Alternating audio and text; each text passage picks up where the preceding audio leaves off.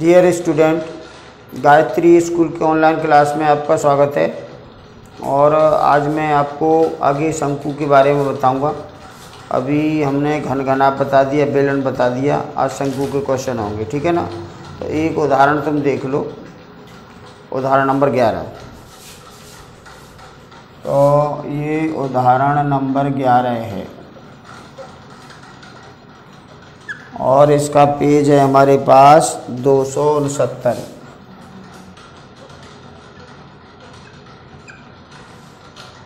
ये कह रहा है, एक शंकु की टेंट की ऊंचाई चौदह सेंट, चौदह मीटर है। ये चौदह मीटर है। टेंट की ऊंचाई चौदह मीटर है। आधार का क्षेत्रफल पाई आर स्क्वायर। शंकु के आधार का क्षेत्रफल होता है पाई आर स्क्वायर। ये तीन सौ छियालीस दशमलव पाँच मीटर स्क्वायर है। और यह टेंट एक पॉइंट पाँच मीटर चौड़ी कैनवास से बनाया गया है। कैनवास की चौड़ाई यहाँ लिख दो कैनवास की चौड़ाई।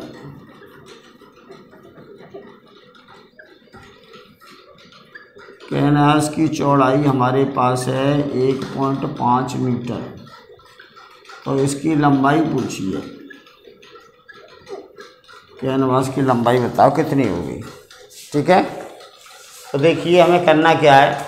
एच हमें दे रखा है। इससे आर निकालेंगे। आर और एस से फिर हमें ना एल निकालेंगे और फिर इसका बक पृष्ठ निकालेंगे। फिर बक पृष्ठ में इस चौड़ाई से भाग लगाएँगे तो कैनवास की लंबाई आएगी। ठीक है ना?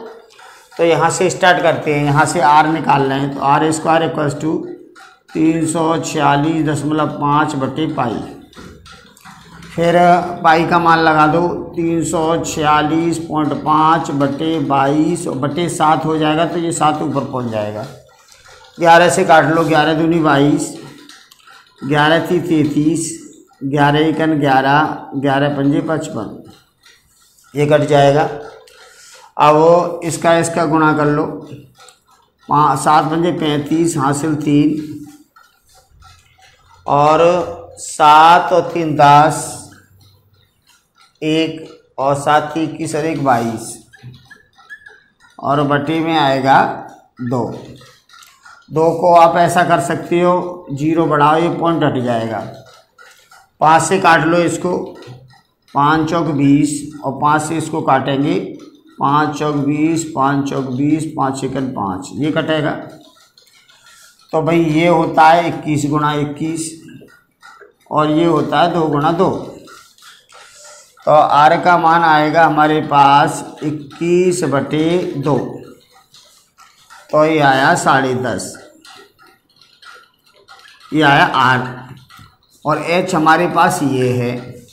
और आर और एच से एल निकालेंगे तो एल बराबर होता है under root H square plus R square L हम क्यों निकालेंगे? क्योंकि हमें इसका बक पृष्ठ निकालना है। तो बक पृष्ठ शंकु का बक पृष्ठ होता है पाई आर एल तो एल की ज़रूरत पड़ेगी, इसलिए निकालना है।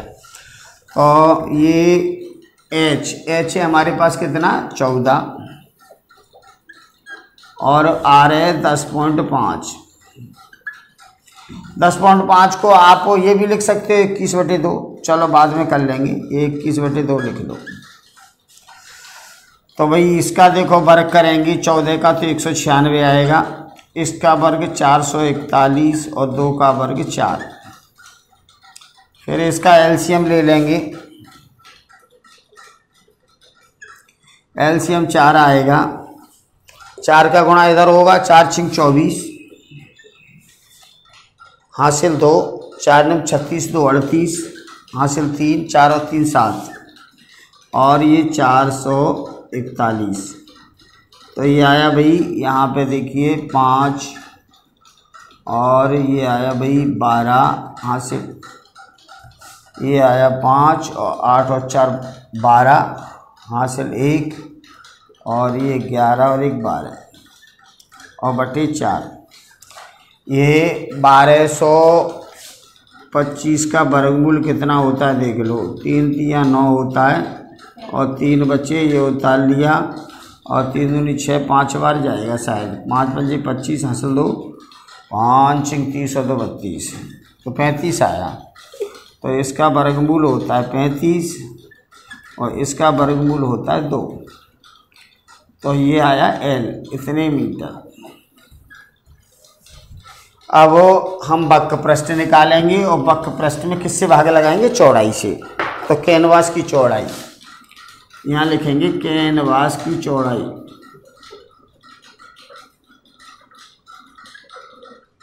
चौड़ाई चौड़ाई तो दे रखी है, लंबाई निकालनी है। कैनवास की लंबाई। तो लंबाई में हम क्या करेंगे? इसके वक्र पृष्ठ में किससे भाग लगाएँगे? चौड़ाई से। तो वक्र पृष्ठ बटे चौड़ाई। ऐसे समझ लो। तो वक्र पृष्ठ होता है पाई आर एल और चौड़ाई हमारे पास ये एक पॉइंट पाँच। तो पाई का मान बाईस बटे सात, आर हमारे इधर ही देख लो। पाई का मान बाईस बटे सात। आर हमारे पास है इक्कीस बटे दो। तो यहाँ इक्कीस बटे दो लिख लो। एल हमारे पास है पैंतीस बटे दो। और ये एक पॉइंट पाँच। ये आया। तो सात पंजे पैंतीस, पाँच बार कट जाएगा। और देखो पॉइंट हटाएँगे तो यहाँ ज़ीरो बढ़ा सकते हैं। पाँच दी पंद्रह और पाँच से दस बार। अब दो तीन सात इक्कीस सात बार और दो से ये ग्यारह बार। तो यहाँ पे आया, फिर दो से ये पाँच बार। तो यहाँ आया ग्यारह सात पाँच।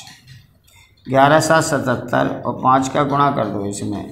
पाँच सत्ते पैंतीस और तीन अड़तीस। इतने मीटर कैनवास की लंबाई की ज़रूरत होगी। देखो क्वेश्चन क्या है, क्वेश्चन में ये कह रहा है वो एक टेंट बना रहे हैं, ठीक है? टेंट की हमें ऊंचाई दे रखी है और आधार की, आधार का क्षेत्रफल दे रखा है। तो आधार के क्षेत्रफल से आर निकालेंगे और आर और एस से एल निकालेंगे और फिर वक्र पृष्ठ टेंट जो बनाती हैं, वो उसमें कैनवास लगता है वक्र पृष्ठ में, क्योंकि आधार तो ज़मीन है। तो वक्र पृष्ठ में हम कैनवास की चौड़ाई से भाग लगाएँगे तो कैनवास की लंबाई आ जाएगी। क्षेत्रफल है नहीं? क्षेत्रफल में अगर चौड़ाई से भाग लगाएँगे तो लंबाई आएगी। लंबाई गुणा चौड़ाई होता है क्षेत्रफल। तो ये ऐसे हमें ये उदाहरण ग्यारह करना है, ठीक है? अब इसके बाद एक्सरसाइज स्टार्ट होगी सोलह पॉइंट तीन। और सोलह पॉइंट तीन एक्सरसाइज में देखिए आगे फ़र्स्ट वाला क्वेश्चन देखो, चलो।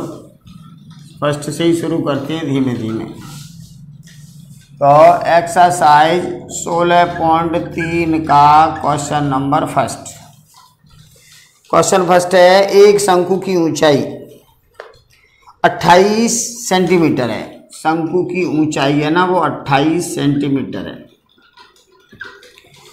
और आधार की त्रिज्या इक्कीस सेंटीमीटर है। ये इक्कीस सेंटीमीटर है। उसका वक्र पृष्ठ संपूर्ण पृष्ठ आयतन ज्ञात करो। देखो, सब चीज़ पूछिए। वक्र पृष्ठ, संपूर्ण पृष्ठ, आयतन। अब तीनों चीज़ ज्ञात करने के लिए हमें ये देखना होता है कि वक्र पृष्ठ होता है शंकु का पाई आर एल। तो एल नहीं है हमारे पास, पहले एल निकालो। वक्र पृष्ठ, संपूर्ण पृष्ठ में एल लगता है। और आयतन का अगर पूछता है तो आयतन तो आर और एच होता है उसमें, ठीक है? तो सूत्र आपको याद होने चाहिए। तो पहले इससे आप एल निकालोगे।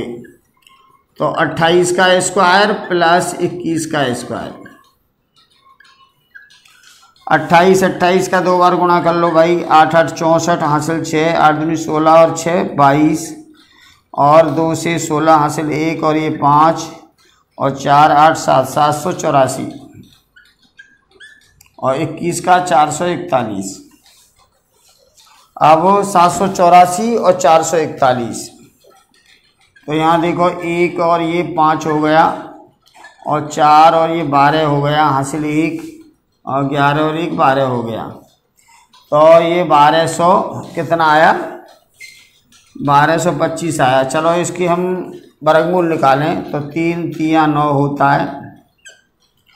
और कितने बचे? तीन। और ये उतार लिया। तीन का डबल छः पाँच बार जाएगा। पैंतीस आएगा इसका वर्गमूल। तो इसका वर्गमूल आया भाई पैंतीस। पैंतीस सेंटीमीटर। ये आई हमारी एल ठीक है? अब देखिए, हमारे पास आर ये एच ये आर ये एल ये। अब हम बक पृष्ठ संपूर्ण पृष्ठ आयतन निकाल सकते हैं। तो यहाँ देखिए, पहले बक पृष्ठ निकालना है। वक्र पृष्ठ होता है पाई आर एल, शंकु का वक्र पृष्ठ तो पाई आर एल होता है तो पाई का मान बाईस बटे सात आर। आर हमारे पास है इक्कीस और एल हमारे पास है पैंतीस। तो देखो, इससे ये काटें हम, सात ही इक्कीस। तीन का गुणा यहाँ करेंगे तो छियासठ और पैंतीस का गुणा कर दो। पैंतीस में छियासठ से गुणा। तो छः पंजे तीस हासिल तीन छः अठारह और तीन इक्कीस। और ये भी ये होगा। तो ये आएगा भाई दस तेईस दस। तो इसको हम लिख सकते हैं तेईस दस सेंटीमीटर स्क्वायर। ये इसका आया बक्क पृष्ठ। ठीक है? अब इसका संपूर्ण पृष्ठ निकालेंगे। शंकु का संपूर्ण पृष्ठ। संपूर्ण पृष्ठ होता है पाई आर और एल प्लस आर। ये शंकु का संपूर्ण पृष्ठ है, पाई आर और एल प्लस आर। तो पाई का मान बाईस बटे सात। आर। आर है हमारे पास इक्कीस, एल है पैंतीस और आर है इक्कीस। तो यहाँ देखिए सात से ये काट दिया तीन बार और तीन का इसका गुणा छियासठ और ये दोनों जोड़ दो। तो ये छः और ये छप्पन आया। ठीक है? अब छप्पन का छियासठ से गुणा कर दो। छः चिंग छत्तीस हासिल तीन और छः पंजे तीस और तीन तैतीस। और ये भी यही आएगा। तो ये आया भाई नौ, छत्तीस, छियानवे। तो यहाँ लिख दो, छत्तीस, छियानवे सेंटीमीटर स्क्वायर। अब शंकु का आयतन निकालना है।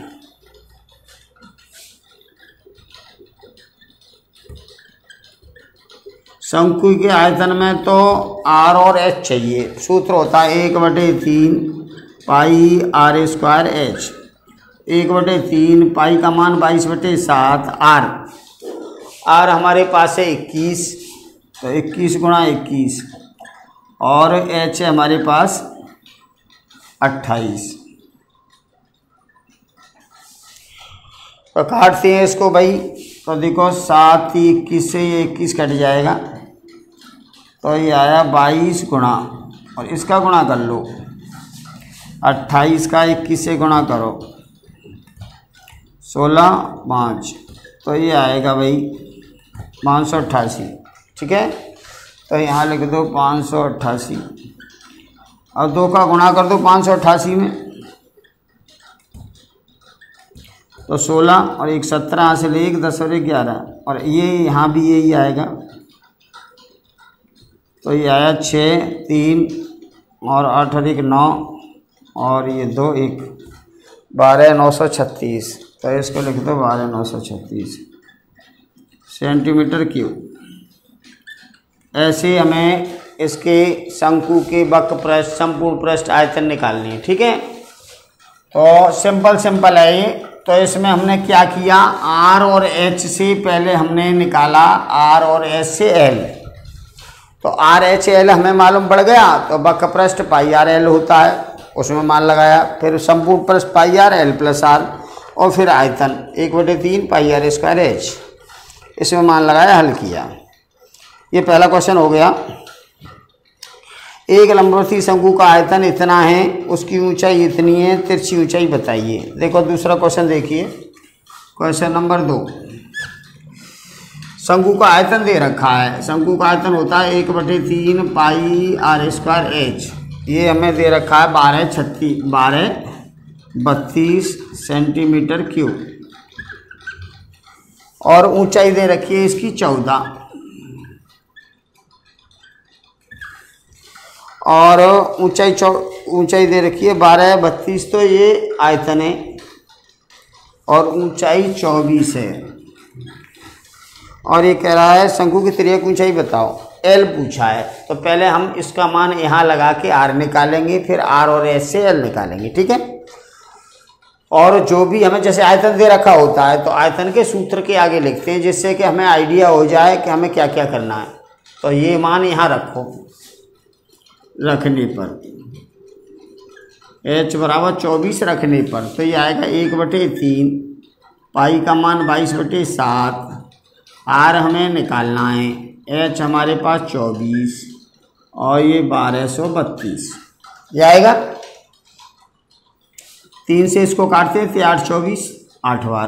अब तो कट नहीं रहा तो सात का इधर गुणा कर दो, इसका इसका भाग लगा दो। तो आर स्क्वायर बराबर बारह बत्तीस गुणा सात, ये सात बच्चे गुणा इधर हो जाएगा। और ये बाईस और आठ, ये यहाँ लिख दो। चलो भाई काटते हैं इसको तो ग्यारह से काटेंगे ग्यारह दूनी बाईस, ग्यारह छिंच ग्यारह दूनी बाईस। इधर ग्यारह एकन ग्यारह, एक बच्चा ग्यारह एकन ग्यारह, दो बच्चे ग्यारह दूनी बाईस, ये कटेगा। तो आठ से काट दो, आठ एकन आठ, तीन बचे, आठ चौक बत्तीस। इससे ये कट जाएगा।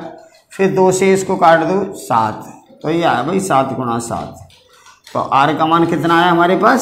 सात सेंटीमीटर। अब आर बराबर सात है और एच बराबर ये है। आर और एच से क्या निकालना है हमें? एल। क्योंकि उसने तिर, तिरछी ऊंचाई पूछी है। तिरक ऊंचाई पूछी है। तो हमें मालूम होता है तिरक ऊंचाई का सूत्र होता है under root H square plus R square. ये ये आपको फॉर्मूला याद होनी चाहिए बेटा। अगर आपको फॉर्मूला याद नहीं है तो आपके सामने दिक्कत आ जाएगी। फिर फॉर्मूला आपको एग्ज़ाम में कौन बताएगा? इसीलिए फॉर्मूला रिपीट करते रहिए। तो एच है चौबीस। तो ये यहाँ लिखोगे चौबीस का स्क्वायर आर है हमारे पास सात। तो ये सात का स्क्वायर तो चौबीस चौबीस का दो बार गुणा करेंगे तो पाँच सौ छिहत्तर आएगा। और सात सात का दो बार गुणा करेंगे, उनपचास आएगा। और इसको इसको जोड़ेंगे तो छः सौ पच्चीस आएगा।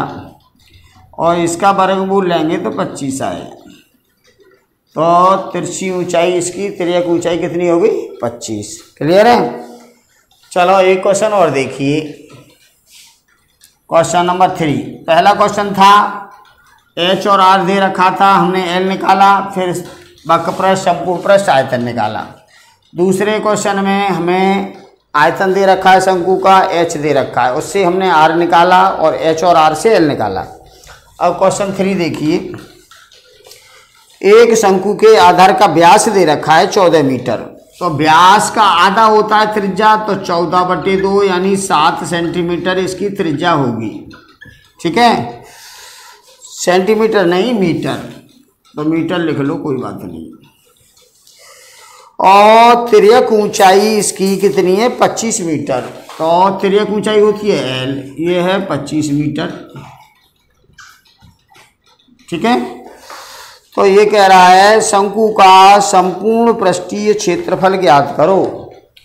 तो शंकु का संपूर्ण पृष्ठ। शंकु का संपूर्ण पृष्ठीय क्षेत्रफल। शंकु का संपूर्ण पृष्ठीय क्षेत्रफल होता है भाई, पाई आर और एल प्लस आर। तो हमारे पास आर और एल है तो हम प्रश्न संपूर्ण प्रश्न निकाल सकते हैं। और आयतन निकलवाता है तो आर और एच चाहिए। तो ये तो आपको मालूम होगा कि क्वेश्चन पढ़ते समय लास्ट में क्या लिखा होता है। वो ये कह रहा है, व्यास सात है, शंकु का तिरक ऊंचाई इसकी पच्चीस है। तो ये कह रहा है, शंकु का संपूर्ण पृष्ठीय क्षेत्रफल बताओ। अब जो चीज़ पूछता है, हम उसको देखते हैं कि उस चीज़ का सूत्र क्या है। तो संपूर्ण पृष्ठ पूछा है शंकु का तो वो होता है pi R L plus R. तो उसमें हमें पाई का मान मालूम है बाईस बटे सात, और आर और एल मालूम होगा तो हम शंकु का भक्क पृष्ठ और संपूर्ण पृष्ठ दोनों निकाल पाएँगे, क्योंकि हमें सूत्र मालूम है। और आयतन के लिए आर और एच चाहिए, ठीक है? तो आर और एल मालूम है तो हम ये निकाल रहे हैं। तो पाई का मान बाईस बटे सात, आर हमारे पास सात, एल है पच्चीस और आर है सात। तो ये सात से ये सात कट जाएगा तो ये आएगा बाईस इंटू इसका इसका जोड़ दो तो ये आया बत्तीस। और बत्तीस और बाईस का गुणा कर दो तो ये आएगा भाई चार, सात सौ चार। ठीक है दो का गुणा करेंगे, चार छः और फिर ये भी चार छः तो ये चार, दस और सात। सात सौ चार मीटर है तो आप लिखोगे मीटर स्क्वायर। बक पृष्ठ, संपूर्ण पृष्ठ दोनों की इकाई है ना, मीटर स्क्वायर होती है, ठीक है? तो आज के लिए इतना ही काफ़ी है। कल फिर बताएँगे। धन्यवाद।